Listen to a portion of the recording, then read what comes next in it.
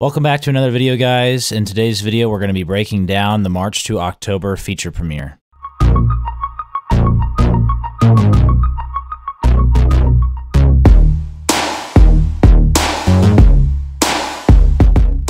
Right quick before we jump into the breakdown, guys, if you have been enjoying the MLB The Show 21 content, then please leave a like on this video, comment down below, also subscribe to the channel and turn post notifications on because I will be doing these breakdowns each and every single Tuesday and Thursday when Sony San Diego Studios releases a new feature premiere on, you know, whatever game mode they choose. Subscribe to the channel and turn post notifications on so you never miss out. So straight off the bat, one of the biggest things that we see in this feature premiere is the new user interface, which takes on this kind of dark mode that a lot of you know social media channels have implemented. You have dark mode, you have light mode. Uh, you know, I think you can do that on YouTube, Twitter. I'm not. I don't believe Facebook has a. Does Facebook have a dark mode? I don't think Facebook has a dark mode, but I know it's on Twitter, YouTube, and I don't. I don't think Facebook and Instagram, because of course Instagram's owned by Facebook, but I don't think Facebook or Instagram have a dark mode. But that is the first thing that we're getting with this new user interface is uh, it, it, looks like there's a lot more information kind of thrown at us and I, I just like overall I like the setup. It almost has more of like a depth chart feel as opposed to just the lists that we're used to in MLB and, and a lot of the previous versions of the game. We're used to just viewing our roster and viewing like a whole list of, of everybody on the roster and here we're getting more of like a depth chart view of everybody, and I, I, I like it. And of course, it looks like we're still having the option of like viewing player cards and such. You can still uh, access access those menus from from this uh, from this interface. So the time has come. What do these icons mean? Again, as I've mentioned in previous videos, I've more I am more of a offline franchise guy, so I, I know what some of these icons next to the players' names mean. So uh, to start off, Justin Steele, you see the name right here at the bottom of the starting pitchers list. This red, these red arrows pointing up with the baseball bat, that icon there, that is a, and I hope it's still the same in the show 21 as it has been, that is a top prospect on the Chicago Cubs roster. So Justin Steele, Chase Strumpf. I hope I'm saying that. I hope I'm pronouncing that correctly. And then Aramis Ademan. Again, I, I, I could be completely butchering these names, but that's what those uh, icons mean. Is uh, they are a top recognized prospect. I don't know if it's like MLB.com top prospect or what, but they are up and coming prospects. I think it's like top 50 or something, or rather, top prospects in the Chicago Cubs farm system is what that that symbol means. And then the one that's been causing a lot of confusion in the community is this new blue uh, kind of paper looking with the money symbol in the middle. What exactly does that symbol mean? And I've done a little bit of digging and personal research to find a potential answer. I'm going to show you guys that right now. So with a little bit of personal research, guys, I have come to the conclusion that that little blue icon means that a player's contract will be coming due after that specific season in March to October. Uh, again, taking note of the names in which that icon was by Javier Baez, unrestricted free agent after the 2021 season. Moving on, we have Anthony Rizzo here. He signed a multi year contract, but again, in 2022, he's going to be an unrestricted free agent. So there's another one. Kris Bryant, again, unrestricted free agent in 2022. So uh, he also has the icon. Zach Davies, same scenario. Uh, so that that is kind of uh, the gist of what I'm getting. I could be completely wrong in this. This is just my speculation, but I believe that that symbol uh, notifies you that that player's contract will be coming due at that that that's their contract year. At the end of that season, their contract is uh, is expired is due.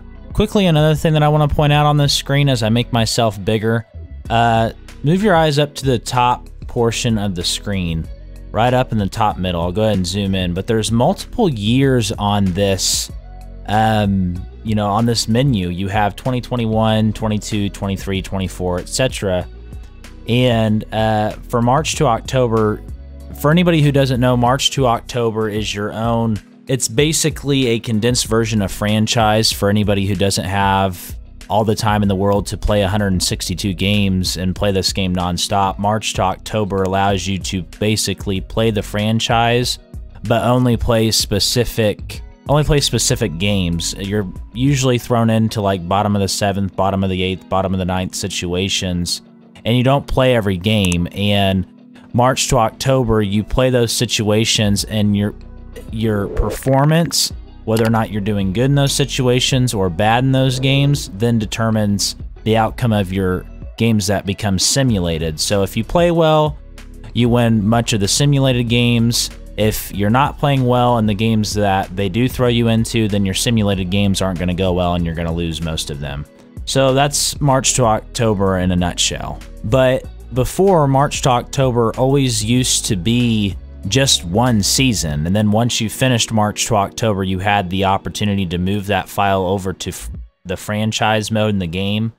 But for some reason, there's been a lot of speculation in the community that March to October might not be just a one year mode. It might be a multi year mode this year, which would probably transition a lot of franchise players to play March to October, especially if franchise ends up neglected again.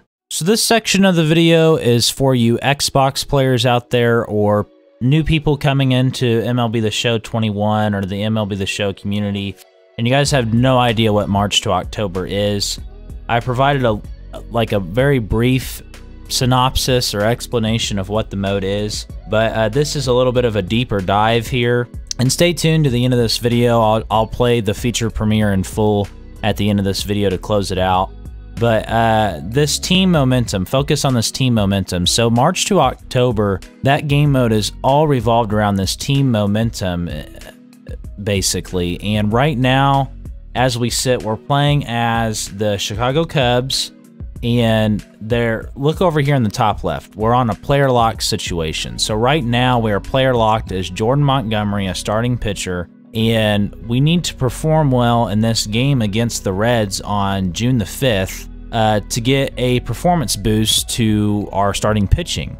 So you're going to be in a player lock situation where you're probably going to play a full nine inning game and you're supposed to pitch really well with Jordan Montgomery to basically turn the tide of your team momentum.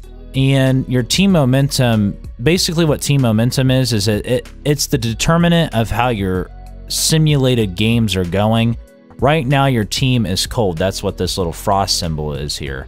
So if you perform well in this game, you're going to try and turn the tide to either decrease, you know, this like frost symbol, or you want what you want that symbol to look like is something like this, where it turns fire. So let's say you pitched really well with Jordan Montgomery in that game, and all of a sudden you got a little bit of fire symbols, and now you're back on track.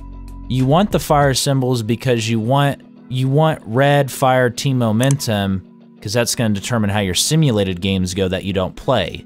The more red fire and good that you do in the games that you do play means that you're going to be winning the majority of your simulated games.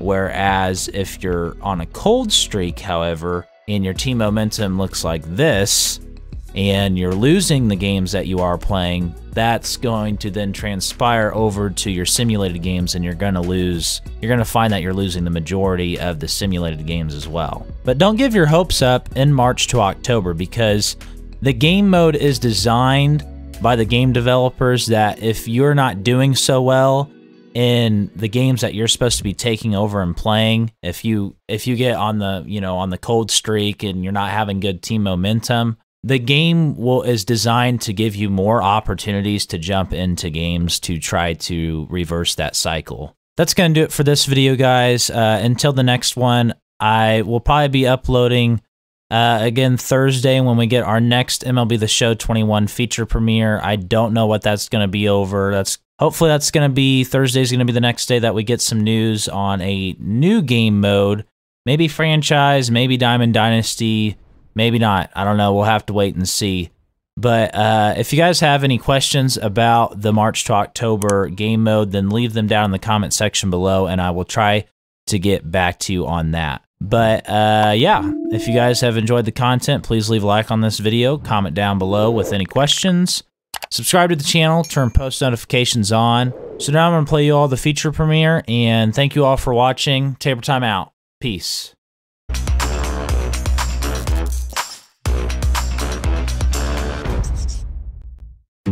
In MLB The Show 21's March to October, Let's go! Thank you. We're so cool. we are so cool. Experience the thrill of a quicker postseason push without playing 162 games. Thank you again. We're the champions! Let's go! Roll that gameplay. March to October has massive improvements to Player Logic system, constant intensity throughout the MTO postseason, and even more user control over your roster. Enjoy increased user control through new fast track episodes, allowing top prospects to help your team with their March to October. We were really focused. We took care of business and made it to the postseason in about 13 hours. What a remarkable young man that Tatis. He would never do anything to embarrass me. We did it, coach. Time to get wet.